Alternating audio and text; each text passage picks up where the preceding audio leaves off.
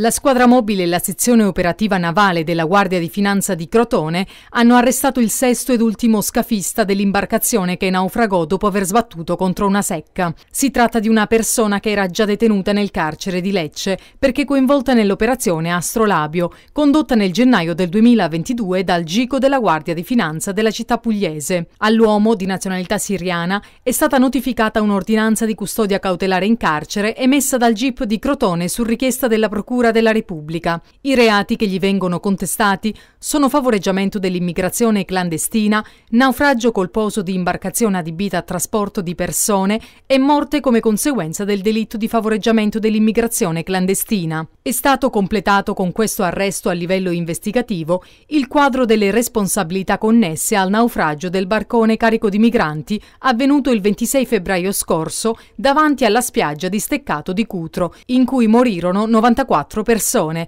35 delle quali minorenni, e che provocò anche una decina di dispersi. Le persone che riuscirono a salvarsi furono 79. All'identificazione del sesto scafista, gli investigatori sono giunti, oltre che sulla base di alcune acquisizioni probatorie, attraverso il suo riconoscimento da parte di alcuni dei migranti sopravvissuti.